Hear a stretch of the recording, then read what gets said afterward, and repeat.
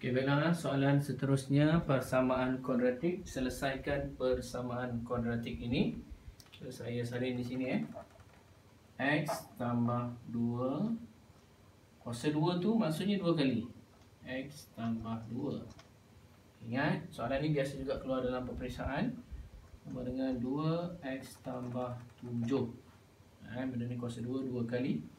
Jadi kita buat seperti biasa X darab X sama dengan X kuasa 2 Dan X darab 2 Positif 2X Di sini pula Positif 2X Positif 4 Sama dengan 2X tambah 7 Dalam persamaan kuadratik Kita bawa ke semua sekali ke sini. Sebelum tu kita ringkaskan dulu.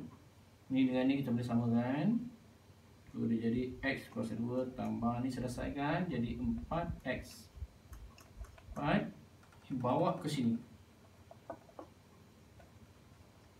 Ini kita bawa ke sini So dia jadi negatif 2X 7 pun bawa ke sini 7 sama dengan kosong. Okay, kita selesaikan lagi. Ni dengan ni Selesaikan.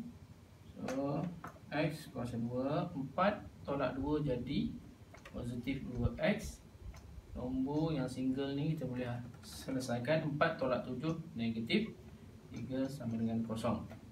Okey, bila nak selesaikan kita kena fakturkan. Biasanya belajar akan ada masalah di sini eh. Jadi apa perlu kita buat saya kongsikan satu kaedah. Kita sediakan tempat untuk kita laksanakan darab silang ni di sini. Darab silang di sini eh Okay, bila kita dah sediakan tapak tu Kita pun ambil sedikit ruang di tepi Ataupun di kertas lain penting Kita keluarkan ABC untuk persamaan kuadratik ni. A, B, C. A adalah nombor yang berada bersebelahan dengan huruf yang berkuasa dua. Dia tak nampak kat sini? Nampak maksudnya satu dia tu. Satu eh. B adalah nombor yang berada bersebelahan dengan huruf yang berkuasa satu ataupun huruf sahaja. X tak ada kuasa. So dua. C adalah nombor yang bersendirian. Negatif tiga. Sebab negatif ni kepunyaan tiga. So kita ambil kalkulator kita. Pastikan ada bateri. Ok apa harus kita buat? Okay, ini dah reset semua benda dah. Ok kita tekan mode. Ada nampak eh Mod sebanyak 3 kali. 1, 2, 3 Lepas tu kita tekan equation nombor 1 Kita tekan. Dia keluar macam ni Tekan ke kanan. Nampak ni? Yang bulat besar ni ke kanan. Tekan. So dia keluar degree. Degree tu darjah 2 lah. Kuasa yang tertinggi tekan 2 Ok tekan. 2 Tanya A. A sama dengan 1 Tekan 1 Tekan sama dengan. Dia tanya B. B sama dengan 2 Tekan 2 Tekan sama dengan C adalah negatif 3 tekan sama dengan. So dia keluar X1 sama dengan 1. So kita tulis macam ni eh. X sama dengan 1. Dia ada 2 kan. Sebab dia kuasa 2, X ada 2 lah. Okay, X sama dengan 1. Okay, keadaan macam ni kita tekan sama dengan lagi sekali. Okay, tekan. Dia keluar negatif 3.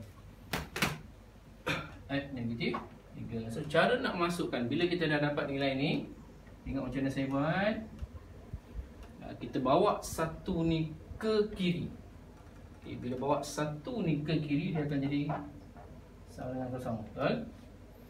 Ini negatif 3 bawa ke sini. So dia akan jadi x tambah 3 sama dengan kosong. Okay, nilai inilah yang kita ambil masukkan di bahagian pendarapan silang atas X tolak 1 X tambah 3 Tambah tak payah tulis pun tak apa. Lepas tu konon-konon lah. Kita dah dapat ni. Uh, Kita agak-agak Sebenarnya kita dah tahu jawapan dia kat sini. Kita masukkan nilai di sini. Kita tunjukkan jalan pengiraan.